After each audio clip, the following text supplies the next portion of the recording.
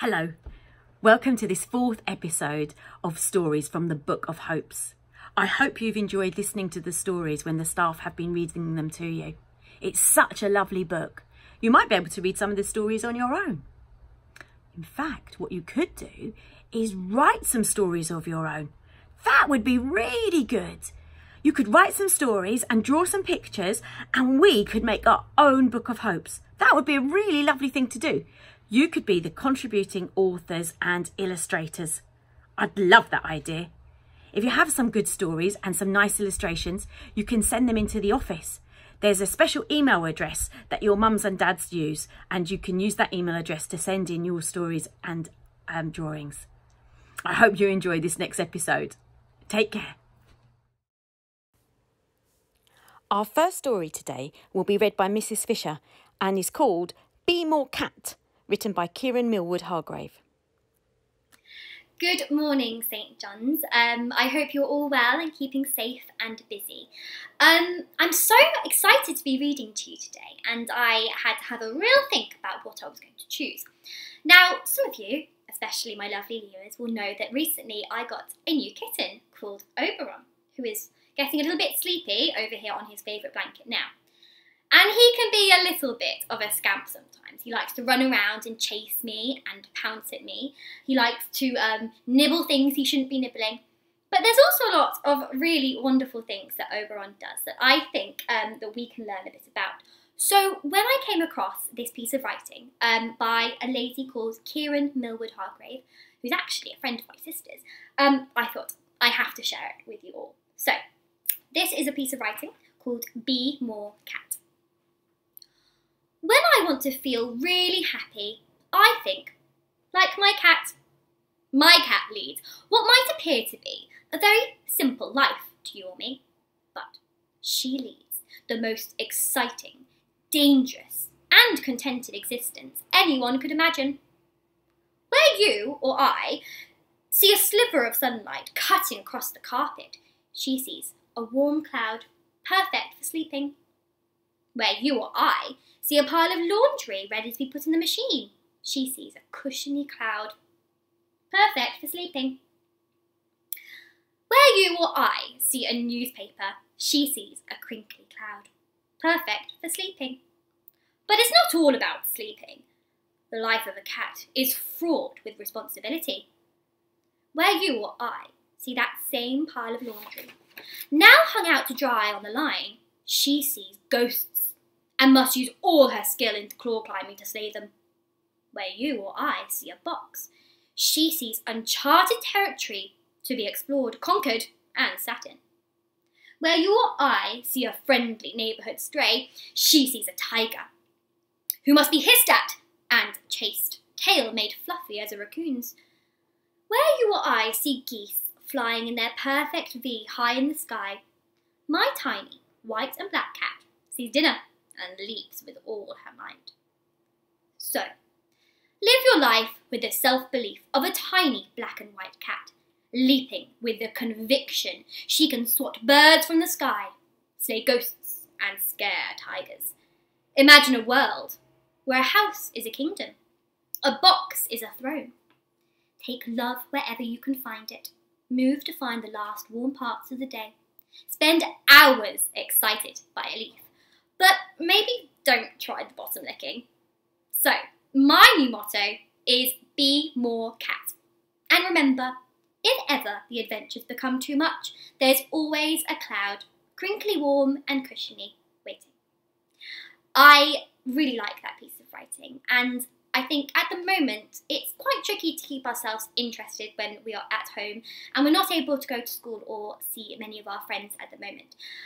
But I think what can we learn from our cats? Well, we can always find imagination in the things around us and keep ourselves interested and have the belief that you can do and be anything.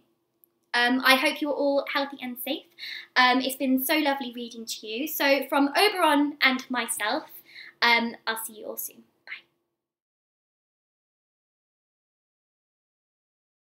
Our next story, written by Jessica Townsend, is Shark Puncher, and it is read by Mrs. Bryars. This story is called Shark Puncher and is by Jessica Townsend.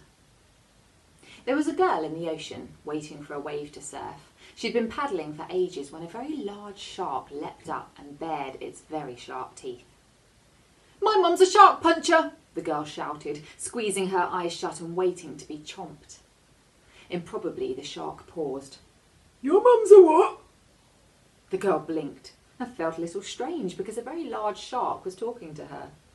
Shark puncher, she repeated, trembling. She punches sharks professionally. She'll punch you to death if you hurt me. Oh, The shark bobbed in the water. that's mean. Not as mean as trying to eat someone. He swam around her once, twice. She watched the fin and waited for teeth pulling her legs in close. The shark emerged again. Look, I was hungry, but you're right. If I don't want people to punch me, I shouldn't try to eat them. She thought he might leave then, but he stayed, swimming in circles. What's your name? she asked. He glanced sideways. See? What should I call you? The shark's face didn't change, or not in any way she could decipher. Don't know what you're saying. She rolled her eyes. I mean, Oh, like, okay, I get what you mean. I do have a, a thing, uh, would you call it? a name? Right, I have one, but I don't think you could pronounce it. Try me.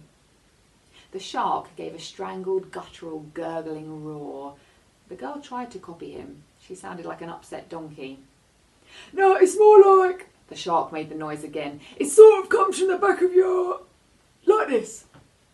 He made the noise again, and the girl tried again, but she sounded like an indignant walrus. Maybe I should just leave it.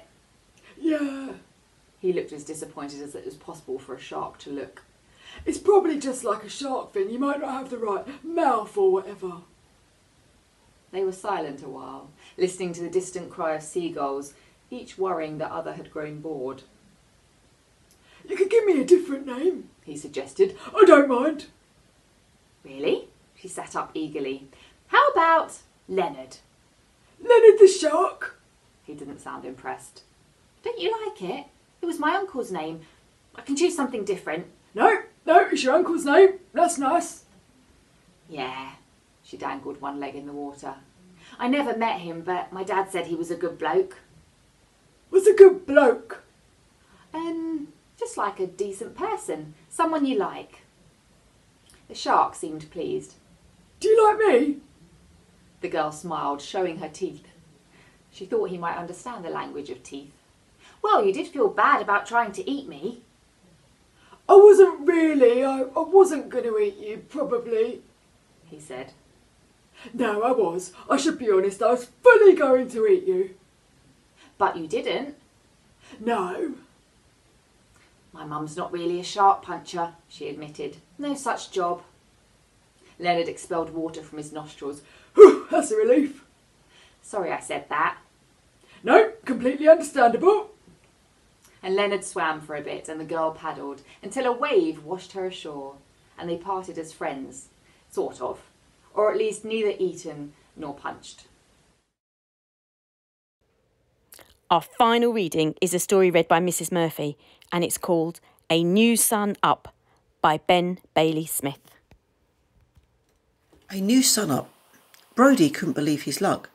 Big Boss Gary was there, Big Boss Narnia was there. His whole team was there too. Team member Max, team member Layla, and tiny new guy Pedro. I mean, tiny new guy Pedro was there most days anyway. And to be totally honest, Brody had felt as though big bosses and team members alike had been a little over focused on the latest arrival. Recently, it seemed that whatever Pedro did, the rest of the team would react. He would scream and they would run about. He would cry and they would take him to the park. He would moan and they'd get him dinner. Ten times every sun up, it felt to Brody. When Brody moaned or cried, the results were rarely the same as that. Still, tiny new guy Pedro was both an official team member and a new smell, and Brody loved him, he supposed. Was it the attention or the food that Brody had been upset about? He couldn't remember. You see, Brody's memory was a little hazy now because time had changed. Every five sun-ups there used to be two sun-ups when the team was all together, and he would run with them, playing games and going to places that had food and drink and treats and cuddles and more running and new smells. Now every sun-up was the same. Or was it? The whole team was there, every sun-up doing different things in different combinations. Big Boss Gary, Team and Layla, and Brody digging holes in the garden for ages. Brilliant. Team Member Narnia, Team Member Max, and Brody emptying out a massive cupboard and a smell he never smelt before. Quality. Big Boss Gary, tiny new guy Pedro, and Brody walking around and around on wheels until Pedro was, went silent. Can't argue with that. It reminded Brody of all those other sun-ups from before this time. The one where they went to live on a field for a while in a tiny triangular house made of cloth. The ones where there were huge brown eggs as big as your head that made him sick and Layla cry.